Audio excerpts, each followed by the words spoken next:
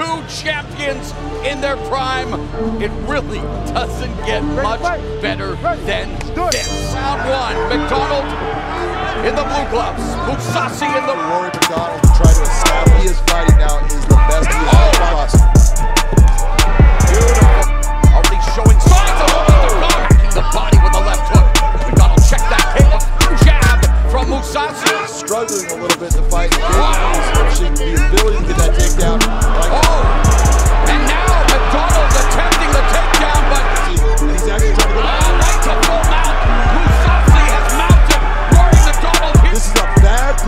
Ferrari. Rory was mounted by